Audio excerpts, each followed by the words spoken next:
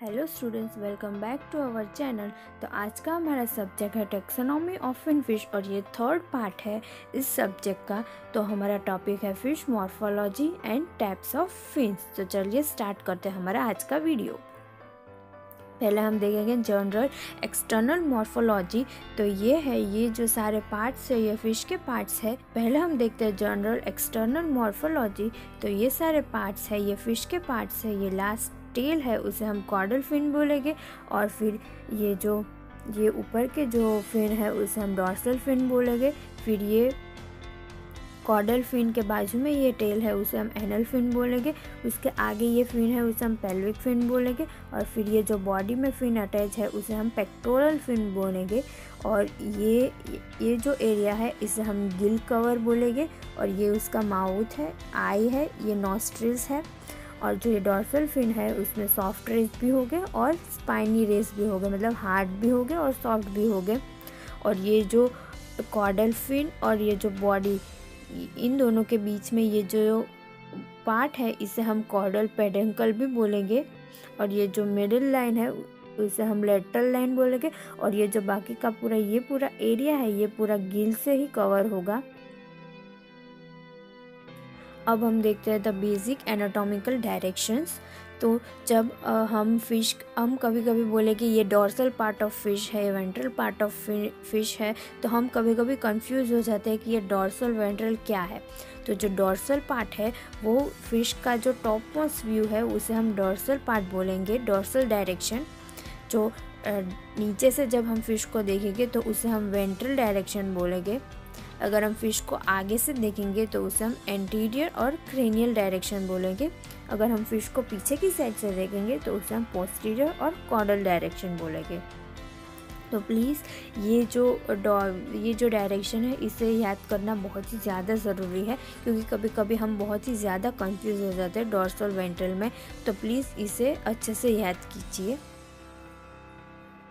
अब हम देखेंगे पैड एंड अनपैड फिन्स तो the paired fins are pelvic fin pectoral fin तो ये हम डायग्राम में देखेंगे कि ये जो फिन है, ये ये वाली, इसे हम पेल्विक फिन बोलेंगे और ये है पेक्टोरल फिन तो ये जो पेल्विक फिन है, वो दोनों साइड प्रेजेंट होगी मतलब पेयर्स में प्रेजेंट होगी. ये ये पेल्विक फिन पेल्विक फिन इधर पे, और अगर हम वेंट्रल साइड से भी देखेंगे तो भी हमें एक पेल्विक फिन दिखेगा। तो दोनों साइड पेल्विक फिन प्रेजेंट होगी, और सेम पेक्टोरल फिन भी दोनों साइड प्रेजेंट होगी। इसीलिए इसे हम पैड फिन भी बोलते हैं। अब unpaired fins are dorsal fin caudal fin and anal fin adipose fin तो जो ये ऊपर ये जो डॉर्सल फिन है, ये एक ही फिन एक ही प्रेजेंट होगी मतलब ओनली वन इन नंबर होगी, ये पैड में नहीं होगी। कॉर्डल फिन भी एक ही होगी एनल फिन भी एक ही होगी, इसीलिए इसे अनपैड फिन भी बोला जाता है। तो हम पैड फिन के बारे में देखेंगे। The pectoral pelvic fin are the paired fin since they are two in number place side by side तो जो पेक्टोरल और पेल्विक फिन है, वो टू इन नंबर होगी, इसीलिए इसको पैड फिन भी बोलते हैं। They bear the fin rays and spine उसमें रेस और स्पाइन दोनों होंगे। And the fins are absent in some eel sunfish lamprey hagfish तो इन सब स्पीशीज़ में जो पेक्टोरल और पेल्विक फिन होगी, वो एबसेंट होगी। The function is brake pitch roll और रिवर्स ये है पैड और पेक्टोरल फिन का फ़ंक्शन है. Now pectoral fin, they are homologous to front leg and pelvic fin homologous to hind leg मतलब जो पेक्टोरल फिन हो गए, वो फ्रंट लेग से होमोलोगस हो गए और पेल्विक फिन हिंड लेग से. तो sometimes the pelvic fins are placed in abdominal position it is usual in primitive fishes तो जो प्रिमेटिव फिशेस हो गए उसमें पेल्विक फिन हो गए वो एब्डोमिनल पार्ट पे हो गए तो इसमें डायग्राम में देख सकते हैं कि पेल्विक फिन है, वो एब्डोमिनल पोर्शन में है। और कभी कभी वो थोरेसिक पोर्शन में भी होते हैं, जैसे कि इस डायग्राम में जो पेल्विक फिन है, वो एकदम एब्डोमेन से कहीं ज़्यादा साइड पर है। ये मोस्टली एडवांस फिशेज में देखने को मिलता है।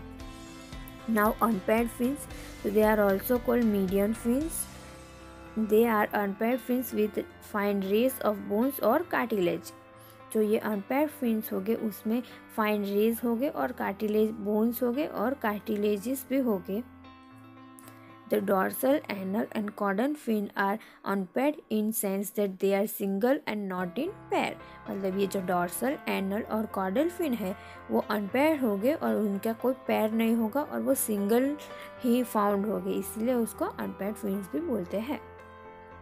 दिस इंक्लूड डॉर्सल वन और more caudal anal and some have adipose नोरे adipose fin होंगे, वो यूजुअली एक पूरा फ्लैशी होगा फिन उसमें ना ही कोई रेज होगे, कुछ नहीं होगा, कोई बोन्स भी नहीं होगा, सिर्फ़ सिंपली उसमें फ्लैशी होगा, इसीलिए उसको एडिपोस फिन भी बोलते हैं। Function of median fins are तो जो मीडियन फिन्स है, उनका फ़ंक्शन है, जो डॉर्सर और एनल है, उनका फ़ंक्शन है यो और स्टेबिलिटी मतलब स्टेबिलिटी के लिए मीडियम फिन काम आता है और कॉडल फिन है वो थ्रस्ट और एक्ट एज प्रोपेलर मतलब जो फ़िश को जो आगे बढ़ने के लिए जो फोर्स लगता है वो कॉडल फिन देता है तो कॉडल फिन के वजह से ही जो फ़िश है वो आगे बढ़ पाती है। Now we will see about rays and spines तो the rays are usually soft and not pointed they are segmented and usually branched मतलब ये डायग्राम में हम देख सकते हैं जो एंड पोर्शन है सॉफ्ट रेस एंड वो एकदम सॉफ्ट हो गए और रिजिट रेस है, वो एकदम हार्ड और पॉइंटेड हो गए। तो spines they are usually hard and pointed and they are unsegmented are unbranched and also solid अब हम कॉर्डल फिन के बारे में देखते हैं। तो द कॉर्डल फिन और टेल हैव टू लॉब्स मतलब कॉर्डल फिन है, उसमें टू लॉब्स हो गए। तो पहला है डॉर्सल एपिकॉडल लॉब मतलब जो ऊपर का लॉब है, उसे हम एपिकॉडल लॉब बोलेंगे। And second is ventral hypocaudal lobe मतलब जो नीचे का लॉब है, उसे हम हाइपोकॉडल लॉब बोलेंगे। Now the types of caudal fins तो पहला है heterocercal second is protocercal third is diphycercal and homocercal, hypocercal. पहले हम हेट्रोसर्कल के बारे में पढ़ेंगे।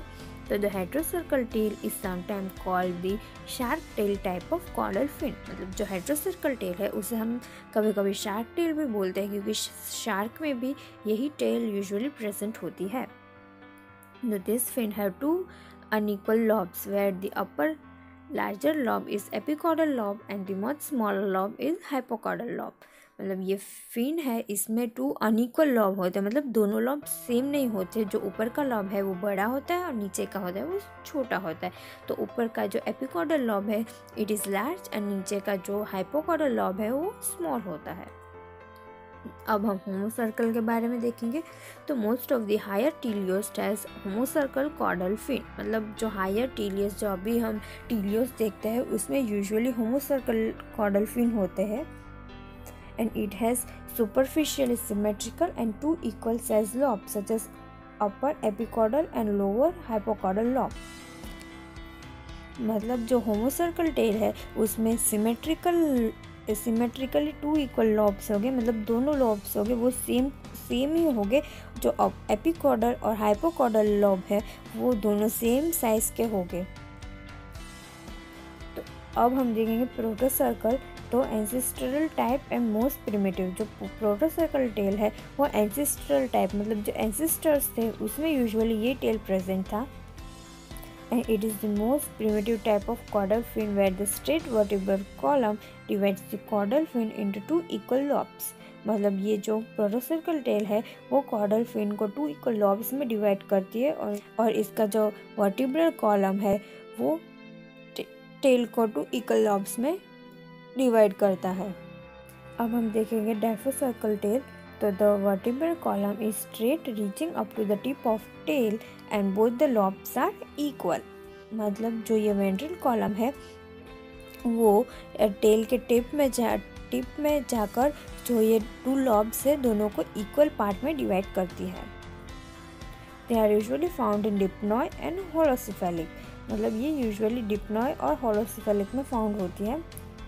अब हम देखते हैं हाइपोसर्कल टेल तो hypocercal it is a reverse of hydrocercal जो हाइड्रोसर्कल टेल हमने आगे देखा था, उसी का रिवर्स है hypocercal the lower lobe is larger than upper lobe इसमें जो लोअर लॉब होगा, वो लार्जर होगा और अपर लॉब होगा, वो स्मॉलर होगा. बट हेट्रो सर्कल में क्या हुआ था? जो अपर लॉब था, वो लार्जर था और लोअर लॉब था, वो स्मॉलर था. Usually seen in fossil Agnatha fossil जो अग्नाथा है, उसमें ये देखने को मिलता है। Now different shapes of caudal fins तो फ़र्स्ट इज़ फॉर्क जो ये मिडिल वाला डायग्राम है, उसे हम फॉर्क टाइप कॉर्डल फिन भी बोलेंगे। तो it is use for rapid swimming जो रैपिड स्विमिंग के लिए, जो फास्ट स्विमिंग के लिए यूज़ होता है, इसीलिए इसे हम फॉग भी बोलेंगे। और हियरिंग और मैकरल में ये यूजुअली देखने को मिलता है। सेकेंड इज़ इमर्जिनेटेड ये यूजुअली ट्राउट कार्प्स और पर्च में देखने को मिलता है। Rounded it is use for slow swimming जो स्लो स्विमर्स हो गए, जैसे कि लेमन सोल टर्बोट इसमें ये यूजुअली फाउंड होगा।